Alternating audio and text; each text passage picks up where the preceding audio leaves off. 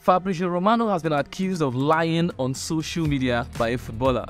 Romano reported that Jose Cifuentes, who plays for Los Angeles FC in the MLS, is practically packing his bags for a move to the Scottish side, Rangers.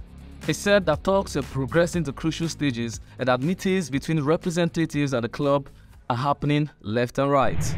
But ladies and gentlemen, this is where it gets interesting. Jose Cifuentes went on Twitter and emphatically denied he is on his way to Rangers.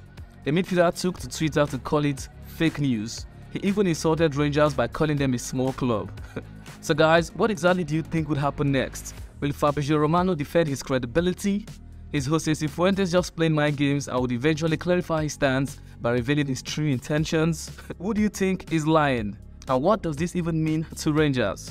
So many questions guys, but I think I believe Fabrizio Romano more than anybody else. Anyways, ladies and gentlemen, the transfer saga is just getting started and I'll keep you all in the loop every step of the way.